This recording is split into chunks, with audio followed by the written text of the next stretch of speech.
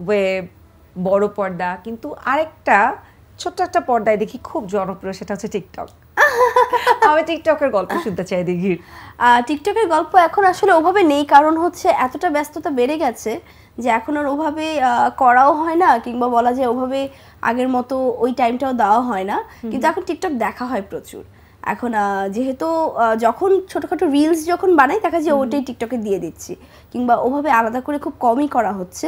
কিন্তু অবসর টাইমে কিংবা রাতে যখন ঘুম আসছে না তখন টিকটকটাই আসলে অনেক ভালো কাজ করে। রাত্রে ঘুম না আসলে টিকটক ভালো কাজ করে? একদম। একদম ঘুম আনে না ঘুম আরও যায় চলে।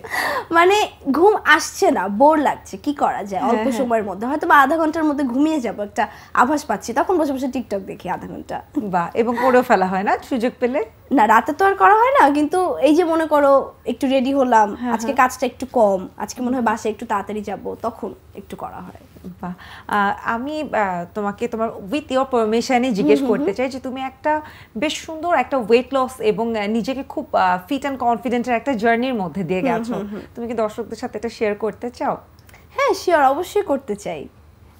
কি শেয়ার করব বলো?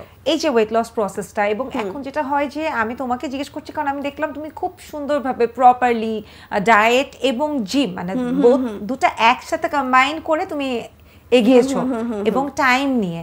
এখন যেটা হয় যে খুব তাড়াহুড়া করে সবাই শুকাতে চায় সবাই এটা করতে চায় ওটা করতে চায় বাট প্রপার হয় না।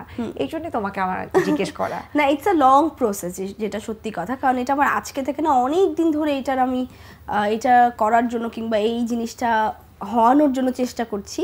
বাট যেটা সত্যি কথা যেটা হচ্ছে যেহেতু অনেক লং প্রসেস আমাকে ওয়েট করতে হয়েছে। কারণ সবার বডি স্ট্রাকচার সেম না সবাই একদম তাড়াতাড়ি যে শুকাতে পারবে এরকম না। দেখা যায় বেবি ফ্যাটটা খুব তাড়াতাড়ি শুকিয়ে যায় কিংবা ওটা খুব তাড়াতাড়ি ভ্যানিশ হয়ে যায়। কিন্তু তারপরে হচ্ছে সবচেয়ে মেইন জিনিসটা যেটা করতে হচ্ছে অনেক কষ্ট করতে হয়। তো আমি হচ্ছে জিম তো করতামই। জিমের পাশাপাশি দেখা যেত তখন অনেক শোজ হতো আমাদের ওই সময়টাতে। আহ, এখনও হচ্ছে বাট এখন দেখা যাচ্ছে একটু কম হচ্ছে বাট যেমন অক্টোবর নভেম্বর ডিসেম্বর এই এই তিনটা মাস এই তিনটা মাস কিন্তু খুব শোজ হয়। তো ওই সময় দেখা যেত খুব যেহেতু শোজ করা হতো আমাকে খুব রিহার্সেলস করা হতো। তো সপ্তাহে তিন দিন চার দিন রিহার্সেলস সাথে জিম আবার একটা প্রপার অ্যামাউন্ট অফ ফুড আমি ইনটেক করতাম। যেমন আমি সেভেন মান্থের মতো সিক্স টু সেভেন মান্থের মতো আমি বাইরের খাবার অনেক কম খেয়েছি। আমি সুগার ইনটেক করা এখনও অফ করে দিয়েছি। মানে আমি সুগার খুব কম ইনটেক করি।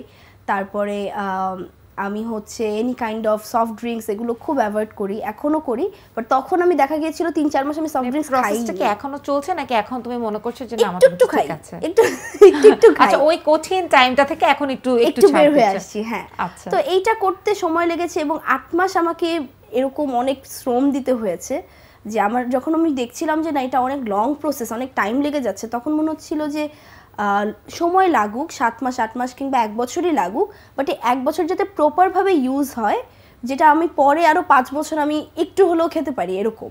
আচ্ছা। তো যার জন্য আটটা মাস খুব কষ্ট করতে হয়েছে। আট মাসে আমি বারো কেজি ওজন কমিয়েছি ওই সময়। এখন একটু যদিও বেড়েছি বাট তারপরেও তখন আট মাসে বারো কেজি ওজন কমিয়েছিলাম এবং এটা স্পেশালি কমিয়েছিলাম ফেরা নামের একটা ওয়েব ফিল্মের জন্য। উনি আমার কাছে এত চাইনি আমার ডিরেক্টর এত চাইনি যে আমি এত কমাই বাট কমাতে যখন ভালো লাগছিল এবং এটা যখন লাস্টের দিকে দেখছিলাম যে এখন যেহেতু এটা খুব ইজি লাগছে করতে তখন মনে হচ্ছিল যে তাহলে আরেকটু কমিয়ে ফেলি দেখা যাক কেমন লাগে।